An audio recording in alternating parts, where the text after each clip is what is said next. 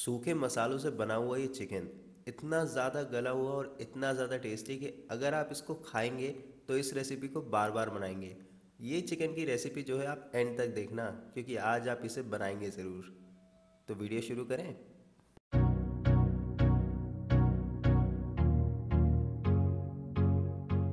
तो ढाबे वाली चिकन करी बनाने के लिए हमने यहाँ पे लिए है पाँच बड़ी प्याज, जिनको जो है फाइन हम लोग ने चॉप कर लिया है।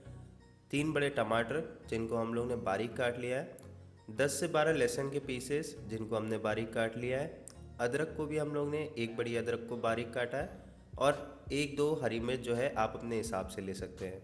तो यहाँ पे मेरे पास एक कप जो है दही है, दो से तीन दालचीनी, दो तेज़ पत्ते एक चम्मच जो है शाही ज़ीरा, एक चम्मच काली मिर्च, तीन जो है हरी इलायची और एक जो है काली इलायची है।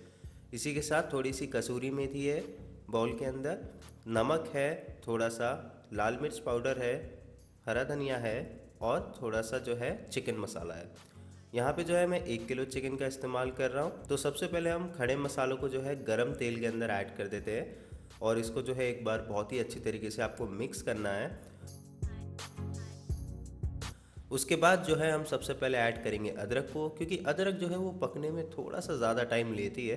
तो आप इसे सबसे पहले पकाइएगा। उसके बाद जो है आप बाद में आप लोग लहसुन को ऐड कर देंगे, जो हमारी हरी मिर्च थी हम उसको भी ऐड कर देंगे। और जैसे ही आप इसको ऐड कर दो तो आपको जो है इसको लगभग एक से दो मिनट के लिए पकाना है। और जैसे ये थोड़ा सा जो है पक जाए, इसका कच्चापन जो है निकल जाए ना, उसके बाद हम लोग को प्याज को ऐड करना है। तो प्याज को ऐड करने के बाद यहाँ पे जो है थोड़ा सा मेहनत का काम आ जाता है। आपको जो है, प्याज को गोल्डन ब्राउन करने तक पकाना है।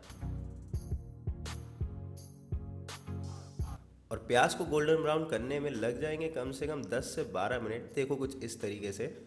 जब प्याज जो है थोड़ी सी कम हो गोल्डन ब्राउन, तब आप जो है, अपने एक हाथ भर के जो है, धनिया, बिल्कुल हाथ भर के कोई टेबल का मेज़रमेंट नहीं होता है इसमें, क्योंकि ढाबे वाली चिकन करी है। तो इसके अंदर जो है हम लोग ने बारीक कटा हुआ धनिया जो है ऐड कर दिया है और इसको जो है बहुत ही बढ़िया तरीके से मिक्स कर दिया है। तो जैसे ही आप इसको लगभग एक से दो मिनट के लिए पका लो, उसके बाद जो है आप इसके अंदर टोमेटोज़ को ऐड कर देना। तो आप देख सकते हो मैंने हर चीज़ यहाँ पे बारीक काटी हुई, क्योंकि ये ब्लेंडर में आपको नहीं पीसनी है, वरना आपको ढाबे वाला टेस्ट नहीं आएगा। और आपको जो है एकदम बारीक काटना ज़्यादा बड़ा काटोगे तो गलने में टाइम लेगा और फिर मज़ा नहीं आएगा आपको। तो इसको जो है बारीक काटना है और इसका जो है पूरा मॉइस्चर निकालना है टोमेटोज़ का। टोमेटोज़ को अच्छी तरीके से गलाना है, उसके बाद जो है हम अपनी नेक्स्ट स्टेप पे आएँगे।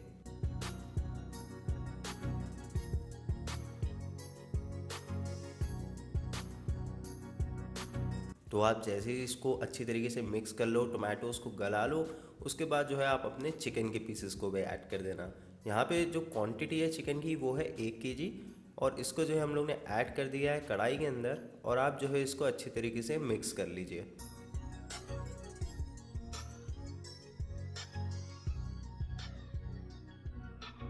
और यहाँ पे जो है मैं आपको प्रॉपर मेज़रमेंट दे देता हूँ। यहाँ पे लाल मिर्च पाउडर जो है दो चम्मच है। धनिया पाउडर जो है यहाँ पे मैंने तीन चम्मच लिया हुआ है। तो आप जो है इसको ऐड कर दीजिएगा। उसी के साथ जो है नमक। नमक जो है यहाँ पे मैंने डेढ़ चम्मच इस्तेमाल किया हुआ है। आप जो है अपने स्वाद के अनुसार बिल्कुल रख सकते हैं नमक को। और मैंने स्टार्टिंग में थोड़ा सा प्याज भूनते टाइम जो है ऐड कर दिया था, ताकि प्याज का जितना भी मॉइस्चर है वो जल्द से जल्द निकल जाए। अभी हम लोग ने चिकन मसाला जो है ऐड नहीं किया है, और जो है हम बाद में ऐड करेंगे। और चिकन मसाला आप किसी भी कंपनी का ले सकते हैं अपने हिसाब से। यहाँ पे जो है आपको बहुत ही अच्छी तरीके से मिक्स करना है। और जैसे ही आप मिक्स कर लें, उसके बाद जो है एक कटोरी जो हम लोग ने दही रखा हुआ था उसको जो हम लोग ऐड कर देंगे। उसको जो है आपको अच्छी तरीके से फेंट लेना है ताकि कोई लम्स ना रहे। उसके साथ ऐड करेंगे हम थोड़ा सा धनिया और यहाँ पे जो चिकन मसाला हम लोग ने बचा के रखा था, हम उसे भी ऐड कर देते हैं। और अब जो है इसको बहुत ही अच्छी तरीके से हमें मिक्स करना है और लगभग पाँच मिनट के लिए हम पकाएँगे, उसके बाद कवर कर देते हैं इसको। तो पाँच मिनट के बाद हम लोग ने जैसे ही इसका कवर हटाया, आप देखो इसके अंदर कितना ज़्यादा मॉइस्चर आ गया आपको इसको मिक्स करना है, फिर दोबारा से कवर करना है मिक्स करना है कवर करना है और ये तब तक करना है आपको जब तक आपका चिकन जो है अच्छी तरीके से पक नहीं जाता। और आप जो है ऐसा करते रहोगे करते रहोगे और जब आपका चिकन पक जाए, उसके बाद आपको बस ढक्कन लगाना है इसका और इसकी गैस जो है बंद कर देनी है और उसको बस रेस्ट करने देना है। और अगर आप ऐसा करोगे तो आपका जो चिकन है, वो कुछ इस तरीके का दिखेगा। ये देखो आप, कितना बेहतरीन लग रहा है चिकन बहुत ही अच्छी तरीके से गल चुका है।